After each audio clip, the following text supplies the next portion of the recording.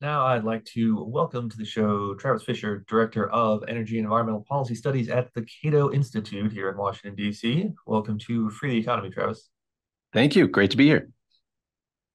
All right. So we talk a lot about energy here on the podcast. Uh, you know, we like to call, uh, like Julian's, like the economist Julian Simon did, we like to call energy the, uh, uh, the master resource. It makes a lot of everything else in, uh, in society and in our economy possible. Uh, and we also often complain about the rules and regulations uh, that producing and deploying new energy sources are subject to. Um, but it's less often we get a chance to talk to someone who's actually worked on the other side of the issue. So my question to you to start with, what's it like coming from a background where you've been at places like Federal Energy Regulatory Commission or the Department of Energy, and what's it like now to be a kind of policy advocate, someone who's in the nonprofit and think tank world? Yeah, I've seen the dark side. It's a great question. Mm-hmm. Um, I actually started so I started my career as an intern at the John Locke Foundation, very free market state level think tank in Raleigh, and one of my advisors at the at that point said, "Well, you know, we always complain about government doing too much, or you know, you don't want the regulatory state to overreach and all of that stuff." And the the question at the time was because I had a job offer from the Federal Energy Regulatory Commission, FERC, was doing a lot of hiring at the time, which I think tied back to the Energy Policy Act of 2005. So this was the spring of 2006. And the question was do you stay in just the think tank? I don't want to say just the think tank space. Do you stay in the think tank space or do you get your hands dirty and go into the the belly of the beast? And uh, I chose the latter, and I think it was it was a good it definitely was good experience because the hands-on experience I think was different from the way that I hear folks talk about it. It's almost like, well, the government just wants more power, more control, more, and it, you know, that might be true in sort of an abstract sense, but it's always it's always more complicated than that. I found a lot of really good, hardworking people, a lot of legitimate public servants, and I think that has sort of shaped my my views a bit and has given me a more positive approach to you know if you want to change policy, it's not only that you want fewer of these folks, which I think is fair to say we have a bloated federal workforce, but acknowledge that they are doing important work. And at the very least, if you want, you know, to close down an agency or you want them to do less, then the question is, do you do you have a plan for who's going to pick up the you know the worthwhile things that they were doing. Um, so that that that has been a much more interesting layer to add to it, and instead of just the approach that like, oh, let's just shut it all down. Which, don't get me wrong, I have days where that is the exact feeling that I feel is let's just let's just close this whole federal enterprise. But I I think the and the other side of that is the technical expertise. There are some things that you know FERC is a great example. It's it's an independent agency, ostensibly independent, um, does a lot of highly technical work. So I'm not sure how else you would get that expertise without going straight for it, or or doing like a FERC practice at at a, a law firm would, would would be the other example. But really detailed technical work that you that you basically have to do in a hands-on way to learn. So speaking of seeing things from a different perspective, I wonder if you think there are things that uh, that get misunderstood by the public in general when it comes to you know how we produce energy in the United States, and uh, because obviously any any policymaker, any politicians, if they are you know if they have the idea of putting any uh, reforms on the way, energy is produced in America, they have to deal with public opinion. But of course, if the if the public is uh, sort of misguided about how things exist in the first place, then that obviously creates a problem for anyone trying to uh, put together a solution for uh, tomorrow. So, is there are there topics out there that you think that like the average person, simply because they're not an expert, of course, uh, sort of doesn't quite get about how we how we keep the lights on? I think step one is understanding that um, your electricity doesn't just come from the outlet in your wall. I think uh, I was certainly guilty of that until you know I started to study this stuff. I just didn't really know that much about it. Sort of had a general idea. You can see power lines and things like that. So if you're uh, on the road, and you see like a giant transmission line. Think, well, that's that's the grid. Um, so so people's personal experience with it, especially on on the electricity side, is not really that in depth. I mean, unless you go on a you know, tour of a power plant, you don't really know how it works. But that's the one thing that I would point to is when people think it's that easy, if it's just the thing that comes out of your outlet, then reforms to it should be easy too. Um, so if you don't understand the full complexity of the system, then it becomes easy as a talking point to say, well, let's just do wind, solar, batteries, blah, blah, blah. You can sort of fill in the blank with the thing that you like, which is, I think, what politicians get away with because people don't really have a deep understanding of, you know, the, the complexity of the system. So if you think it's a simple system, it's simple to change. If you recognize that it's a very complex system, you realize that in order to make sweeping changes, uh, even if you think that's the right policy, uh, the details matter. And I I don't think you know if, if it's the average voter saying yeah I like green stuff, um, there's there's just so much more to it than that. well, I know I was thinking about this. Uh, you know, I mentioned this in the uh, podcast this week as well. That uh, the American Nuclear Society had their uh, meeting here, their, their winter meeting here in Washington, D.C. And so there were a lot of experts, a lot of people talking about nuclear energy. Uh, but they also had a big session where they had uh, policymakers. So they had, uh, among other people, uh, West Virginia Senator Joe Manchin. And uh, Manchin was talking about how obviously West Virginia is famous as a big coal producing state. Um, and, and that is probably going to be changing as the as the years roll on and uh, there are opportunities to take old coal energy producing uh, plants and stick in nuclear using the same infrastructure. And that this is one of these sort of like transitional things that they're trying to plan for. Um, but what i thought was interesting uh, about you know people understanding like where the electricity comes from it comes out, comes out of the wall uh, is that you know if you have a an ev or if you have uh, you know you're like driving a tesla in west virginia um, that's not really an electric powered car so much as it's a coal powered car, right? Because currently the, the electricity that's coming to power your EV is coming from a coal fired power plant. Um, and I, I think a lot that might surprise a lot of people because they they assume that like electric vehicles, for example, are this you know new green, climate conscious, environmentally friendly uh, technology, um, but they don't necessarily think about how those different parts of the system go together. I saw a custom l- license plate on a Tesla that said coal power, and I thought that was hilarious. That I mean, you're absolutely right. Um, the if if you're going all electric in the case of transportation or in the case of home appliances, all of that stuff, if you don't like your gas stove, if you want to go, you know, if if if you want to electrify everything is is sort of the catchphrase. If you want to do that, uh, and you think it's the environmentally friendly thing to do, it does depend entirely on what's producing that power in the first place. So the primary energy source is, you know, is is the real key there. Um, yeah, sometimes it's coal. Our biggest source of electricity in the U.S. right now is gas. So, um, you know, if you if you don't like fracking, you're you know you're you're driving a, a fracked gas car in a lot of cases. So uh, it is that second level of sort of understanding where things come from. Um, hu- hugely important. Um, and I'm not sure. I mean, probably your your Tesla driver is is probably going to be a little bit more educated on that stuff than average, but I'm not sure. I, I still see a whole lot of well, it's just like a, a feel good kind of a thing, and you don't really scrutinize the details. Well, yeah, and so we're looking. You know, we look at this whole broad sweep of energy environment issues today. You know, we really have two major concerns, and I think some people on of, of one ideological orientation sort of forget the other or pay less attention to the other, which is, you know, how do we produce enough energy so that it is reliable and affordable for people so we can power stuff, so we can keep the lights on? Um, and how do we do it in a way that we can have manageable impacts on the environment, right? Really concerns about whether it's uh, emissions in the air that you breathe in, or things like parts per million of carbon dioxide, people worry about climate change.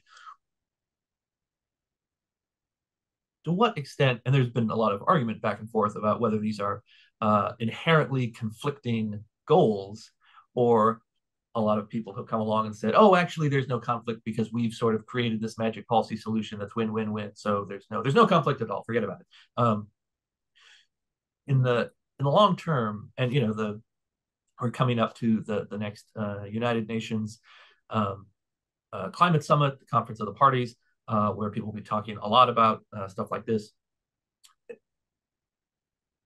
on a sort of economy-wide level, on a policy level. Is this a major conflict, or we can can we sort of just finesse it with technology, like having enough electricity for everybody, but also having manageable environmental impacts? I'd like to get back to a market test. So when when folks talk about sort of their favorite technologies, and it's usually something like, oh, well, we should use the existing grid, and we've already got the sort of the transmission and the substations for the coal plant, so let's just put nuke on the same site. That's probably what the the Manchin approach was was hinting at. Mm-hmm. Um, I think the real question is, well, let's just let the market decide, and we are so far from doing that. There's, uh, you know, most states, it's something like 30 states now, have mandates for specific types of technology. You know that they, you know, these are renewable portfolio standards. Um, I, I prefer to call them energy mandates, but so there's a lot of that at the state level. Um, Joe Manchin also gets credit for uh, helping pass the Inflation Reduction Act, which basically doubles and triples down on this idea that the the federal government should subsidize, should sort of pick winners through direct subsidy. Um, so you have both of those going on at the same time. I think the only way to figure out what's going to work and what is actually in conflict with a healthy economy versus not is just to you know to actually have a, a, a market test for all this stuff. And we're so far removed from that that it's hard to tell. Like you, you know, you have some folks that would speculate, well wind and solar, the costs have come down so much that all we have to do is let them win in the marketplace. And I'm sympathetic to that. I would say, great. This is great news. Let's let's remove the subsidies and they'll just win. So that's that's great for all of us. So that would be an example of not being in conflict. The huge conflict that I see is, I mean, the cost of the the uh, IRA is going to be staggering. I've read some materials that especially if you go out beyond sort of the 10 year budget window because uh, that, that's where the, the estimates are already different because there's so many different variables. But it's something like a trillion dollars in the first decade but then what happens after that? Uh, i think i think the trillions keep coming about a trillion a decade. So it depends how long we allow it to stay on the books but you know we're, we're so far removed from this idea that we even know what the market would would do. You can guess, but uh, with with the policies that that we have on the books, it's really hard to tell sort of which which technologies are more consistent with a market based approach. All right, and to, go back to uh, the Inflation Reduction Act, this big, giant, sprawling piece of legislation, where it involved and and, and Senator Manchin uh, uh, recently was was talking about this as well, where he said, you know, Manchin, uh, you know, he's Democrat, but he's famous for being the most conservative Democrat, the most like Republican adjacent Democrat. Um, you know, he said in this uh, big, you know, main stage interview in front of the conference that the Inflation Reduction Act for him was supposed to be about, uh, you know, deficit reduction and uh, being pro energy, and that the Biden administration had gone out and the Democrats had sold it out as an environmental bill uh, and so that that he said that made my Republican friends very angry, right? Uh, so that it was sort of you know left wing coded rather than right wing coded to you know put it in like you know sociological terms. Um, and so he you know in, in his view it was very you know very responsible thing to do, and and there was supposed to be a couple hundred billion dollars of deficit reduction that came came out of the IRA. Um, but like you said, subsequent analyses on what the actual fiscal impact is going to be in long term have suggested that actually it's going to be uh, uh, huge, add massively uh, to the deficit, and and so obviously that changes dramatically what what you think about the bill, right? If, if, if, it was the sort of compromise that was passed saying, well, we're going to give some subsidies to renewable energy, but we're also going to uh, to cut back on the deficit at the same time with these other provisions, and then you find out, oh wait, no, actually, it does the exact opposite then that puts us in a different position about whether we think it's a good idea or not. You know, on top of all the other specific provisions that we may like, may like or not like. But one of the reasons why it was going to be so expensive long term is that these subsidies are sort of uncapped, right? Like they didn't they didn't say, well, we're going to give everyone who buys a new EV a five thousand dollar tax credit up to a certain amount. Right. Uh, and so if things go go great from the perspective of, of the sponsors and we get uh, more evs and more charging stations and more all this more of the stuff that's being subsidized well that's more subsidy money that the, the federal government is going to have to deal with. Yeah that's right. Some provisions do expire. I believe the one that i'm most concerned about is the one that does not expire. So let's keep in mind too that this is the same senator who in a campaign ad he took a rifle and he shot a hole in the cap and trade bill. And he said he was going to, you know, contain spending in DC and all this other stuff. Um, this is the same guy who who pushed that the, the IRA. So with that context, it really is surprising that he would have supported it, and makes me wonder if he really got into the details of it because the main thing that I'm concerned about is the it's called the production tax credit. It's basically you get something approaching the the market price of the commodity. So this is you know the the the unit is dollars per megawatt hour. So if you're a generator, you basically get this subsidy no matter when or where you produce it. It's going to cause lots of problems, and it's open ended in the sense that it says it's going to end the later of, and it gives two things: the later of the year 2032, which I think got a lot of people thinking that it was going to end in 2032, but it's the later of that, or when the electricity grid decarbonizes to a level that's only 25% of the GHG emissions that we had in the year 2022. So, based on a whole bunch of different uh, scenarios, like I just also based on sort of gut level knowledge, especially if we if we're creating a world where we're going to put a lot of different things, including EVs and home fuel use and all of that stuff on the grid, we're only going to in- increase the amount of electricity we use the idea that we can lower the level of GHG emissions to that, I don't I don't think that's feasible. So this is just a wide open, never ending tax credit scheme that I think is going to end up pouring if if if we don't change it, it's going to end up pouring,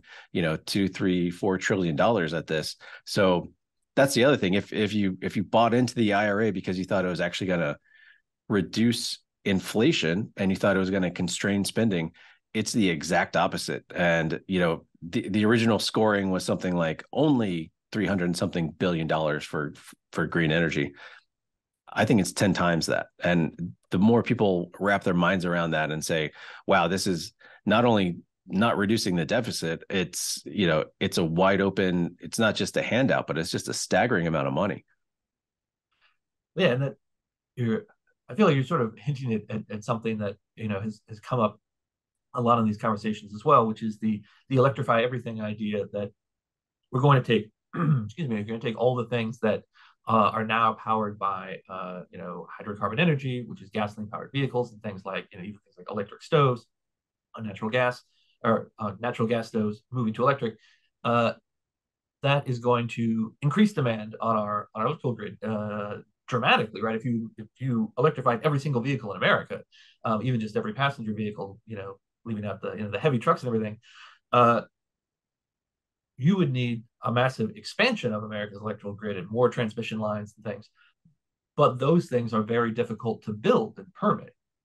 That they're, yep. they're expensive and they're long term, and because of the uncertainty in whether they're going to be permitted or not, it's difficult to line up financing for them. Um, you could take, you know, and you could build, you could potentially create a development project to build a plant, uh, you know, especially something like you know a wind or solar plant. But if it's not near the place where the population center where the electricity is going to be needed, then you need these like high power uh, transmission lines, and those, especially over state lines, are also very difficult to to build. And the process of getting through, you know, legal review can be very long and complicated. So, you know, I wonder, is there going to be a kind of reality moment is there going to be like kind of reality train wreck at some point where we have our decarbonization goals and we're pushing more and more stuff on the grid, but the grid's not being upgraded fast enough to handle it?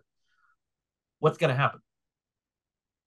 So I don't like to make predictions, but th- this one seems fairly certain to happen in some fashion. What's going to happen, I believe, is so some folks already see this.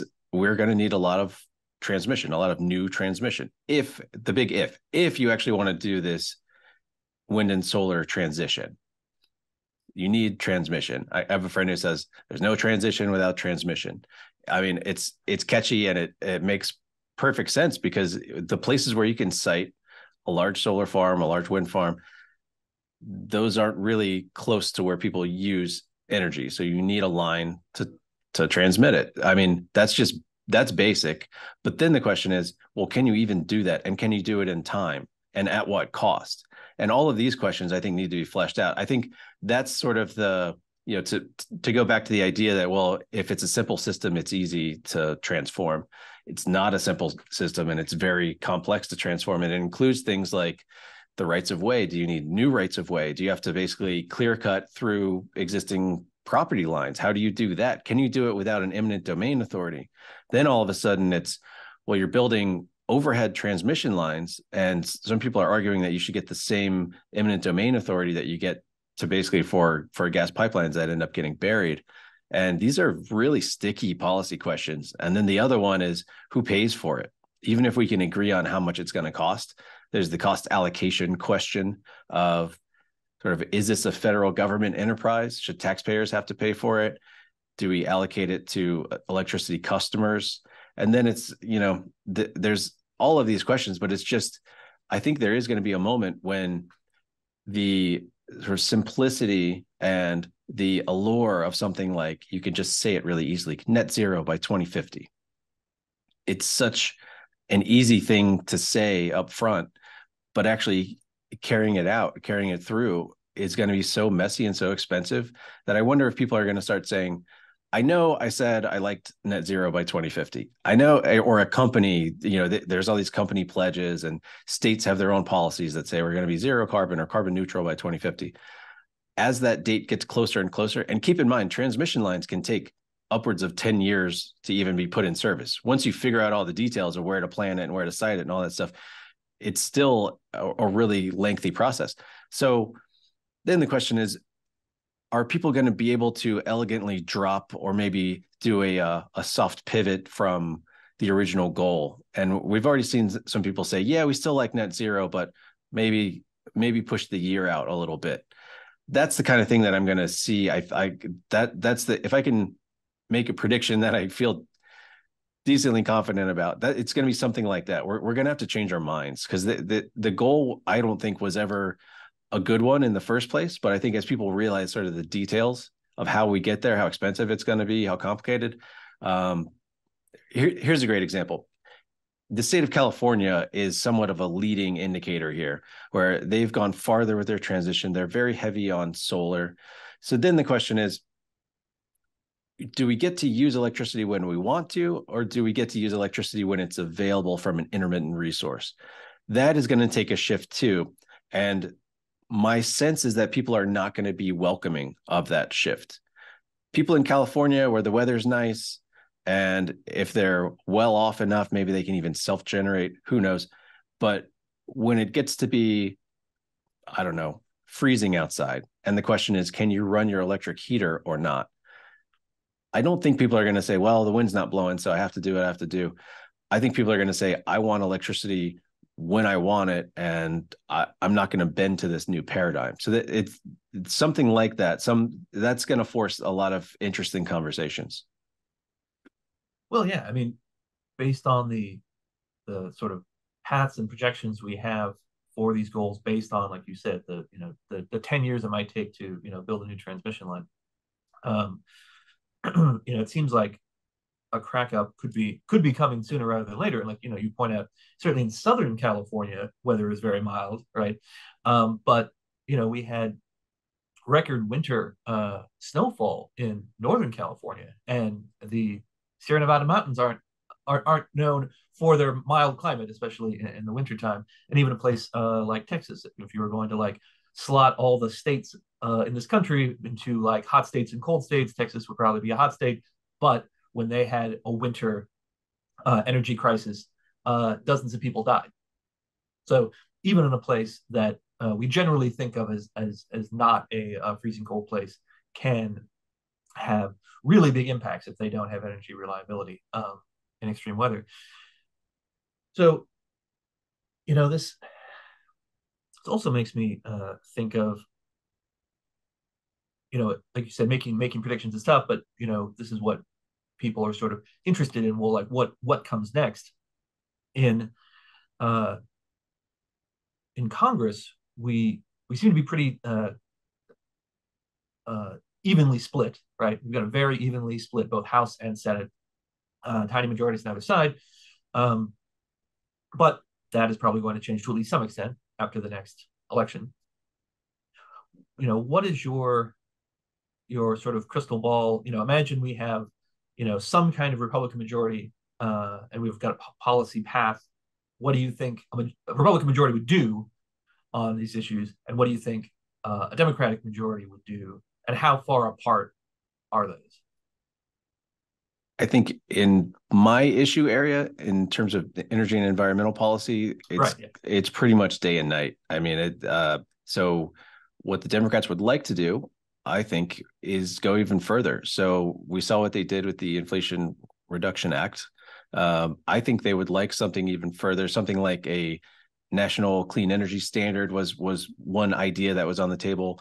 Um, when they were forced to basically go the budget reconciliation route they realized that sort of the the true sweeping policies were off the table. It had to be a financial tool. It had to be a subsidy.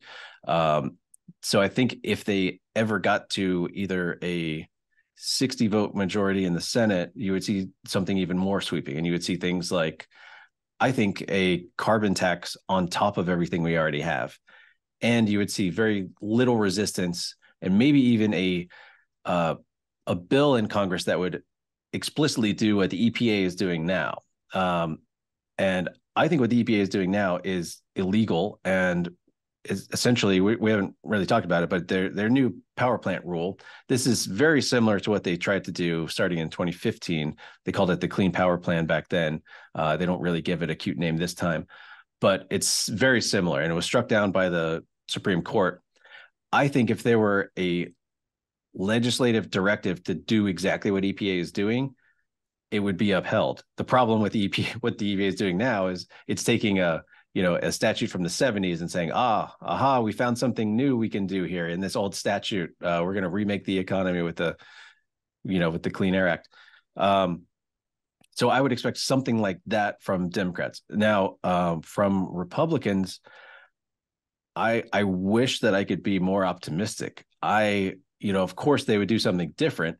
My personal experience, especially going back to the the the Trump administration at the DOE in 2017, it wasn't a let's unleash the markets. It was the closest you got to that was on the LNG export question. So we wanted to export gas everywhere, and that that was uh, that was the closest you got to sort of a pure market approach. Uh, when it came to the U.S electric grid. It was more of like, well, how do we, you know, the the key word was resilience, but really it was a it was a how do we keep coal plants running, um, even when it doesn't make sense to do that. So what what I what I would like to see is a return to sort of a free market approach, uh, a, a capitalist, a free enterprise approach, which you would hope for from the right. But um, in practice, it depends who it is and what their priorities are. It could be that they actually like the idea of either bailing out an industry, which I think is a terrible idea, or um, we've seen a proposal. This is a Senator Cassidy proposal to basically institute. You know, he's calling it a foreign pollution fee, but it's basically a carbon tax. That's uh, it's it's an import tariff that's that's built on sort of a carbon intensity question. Um, so that's the kind of stuff we're seeing from the right as of today. So I I I kind of wish they would uh, trend in a more free market direction, but uh, uh, honestly, it's I'm I'm I'm not sure anymore. Well, you know, there's one thing about uh, that that description that uh, sort of uh, tr- triggered the back of my brain, which is the idea that uh, uh, you know, say if Democrats had a big majority, they would pass a carbon tax, and uh, as you said, on top of everything else. Uh, and it's one of these things that comes up a lot in um, people's sort of prognostications and they're theorizing about uh, public policy about you know we, you know we can solve this big problem and Congress can do X, Y, and Z, and and they get they get really excited about uh, proposing these like theoretical policy swaps and big grand deals and things like that. Um, so it, it, it's in things like you know people who want a universal basic income, you know, and they say, well, we'll have a, we'll get everyone will have a universal basic income, but we'll get rid of all the like all the existing um, welfare programs, right? And it'll be this big swap, and it'll be the the sort of thing that you know political science students write papers about, and it'll be grand bargain. Cool, yeah, grand the grand bargain. And so people have said this for for years, going back a long time. You have had you know libertarians, free market people that said, well, maybe we should have a carbon tax, but we'll get rid of everything else, whatever you know. They're a little vague on what what all that would be. Um, they're like, oh, we'll like abolish every other environmental restriction, right? And we'll just have a carbon tax, and then everyone will be happy with that. Um, you know, my uh, my objection to those sort of like grand bargain proposals is um, one, they won't work. one, they'll never get passed in the first place. Uh, but two, even if in some sort of fantasy world you had both sides agree to such a swap, the things that were swapped away would just get repassed and re-implemented because there was a constituency for and an incentive for them in the first place. And the, the grand bargain wouldn't remove those incentives for them coming into existence in the first place. So it wouldn't stop them from recoming back into existence. Um, that's that's my version of this. Um, you know, do you think there's any sort of like bargain potential there? Like, you know, can we, you know, do we like repeal the National Environmental Policy Act, but we'll have a, you know, a $20 per ton carbon tax instead? Is that is that a thing? Most of these bargains that I hear about, I I like the one side of it, like repeal NEPA. I'm, you know, if that's going to boost the economy, let's just do that. uh, but I, I I have heard this argument that wouldn't it be nice? Wouldn't it be simpler if we just did a carbon tax, or it's you know they usually use different language now. Wouldn't it be simpler to sim- to simply price carbon and remove the regulations, the subsidies, the mandates. Um, even if I bought into that in principle, and I'm not sure I do because there's all sorts of details about the carbon tax that make it problematic. Like, how do you establish the level? Um, usually, folks just say, "Well, you tax it at whatever amount makes it go away." Like, that's not exactly the Pigovian approach to carbon tax. But the point you bring up is incredibly valid, and it's actually a piece that I have just started writing, which is if we wanted to enumerate the list of things that you would need to trade in to make a carbon tax make sense on economic efficiency grounds. So that's all the regulations, that's the whole EPA paradigm. There's everything from DOE energy efficiency standards that have sort of a, a carbon emissions, you know, justification behind them. Um, even if you wanted to do that at the federal level, I think it's really difficult. And a lot of the stuff, you know, if if there's some element of even a FERC policy that has a, a, a carbon motivation behind it then you're asking an independent agency to do something. And that that's not exactly the kind of thing that you can just do in a sweeping fashion. All of those details aside that's just federal level. That's the easiest part. Then the question is do you address everything that happens at the state level? So these are all these state mandates that we've already talked about. Then even further do you get into building codes? There's all these green building codes. Well, you don't need those anymore if you price carbon because then everything just falls into place. Um, so I am completely with you in the sense that I don't even think they get repealed in the first place. Even if you pass a bill that says we swear we're going to try to we're going to try our best to repeal all this stuff, I just don't see it happening at all. I see this as a complete pancaking exercise that it just comes on top of everything else, which is part of the reason I I don't like the the Cassidy approach with the carbon tariff is it I think it walks us right into this paradigm of first the tariff, then attacks on us within the US, and then all of it is just on top of what the EPA is doing, which we haven't gone into those details, but the gist is they're outlawing, they've already outlawed new coal plants. They're essentially outlawing the most efficient type of gas plant. This is a combined cycle plant that it's one of the most beautiful designs that I've ever seen is you have up front you have a you know something like a, a jet engine it's just a turbine that runs on gas that that's that spins the turbine that's its own generator and then you have maybe two or three of those operating they generate a lot of heat significant amount of heat. So then what you can do is take the heat from those generators then you sort of you have a, a steam function. So you hmm. you use that heat you run a separate steam generator which used to be the old school way to to have a gas plant. It was just the steam part um, but but the combined cycle unit is the most efficient way to generate the electricity that we've ever come up with. EPA has just proposed to ban it. I think people should be losing their minds over this. So it's it's stuff like that where I'm like, I, you know, if that went away, that would be great. But I don't see a world where the environmentalists say, uh, yeah, that whole plan that we just came up with that we spent years on, yeah, let's just throw that in the trash and we'll we'll we'll just we'll just do the carbon tax. So I I really, you know, as much as people want to talk about a grand bargain, and I will engage in that conversation to see what exactly is on the table.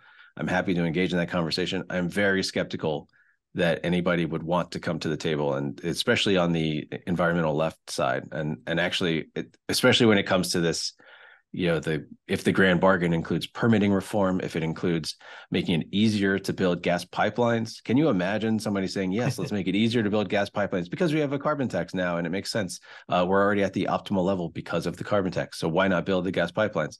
I just can't fathom it. I, I would i would welcome that conversation. I just can't fathom it.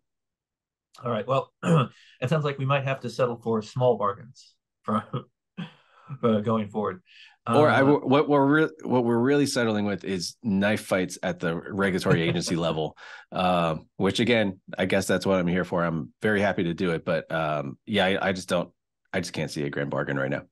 Okay, well, we'll we'll get to work on the regulatory comments. Uh, Travis, thank you so much for being with us. Uh, before we go, uh, let people know where they can uh, find you and your uh, your material online.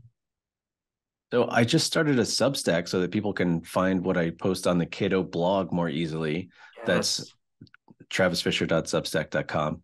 Uh, I am on X. I somewhat regret having a presence on that platform, but uh, it's mostly it's mostly good for sharing ideas. It's at ts underscore Fisher. Find my work at cato.org. Uh, I think I think that's about it. I also I you know I have an open door policy. If folks want to engage on on on policy issues, I'm I'm always happy to do that.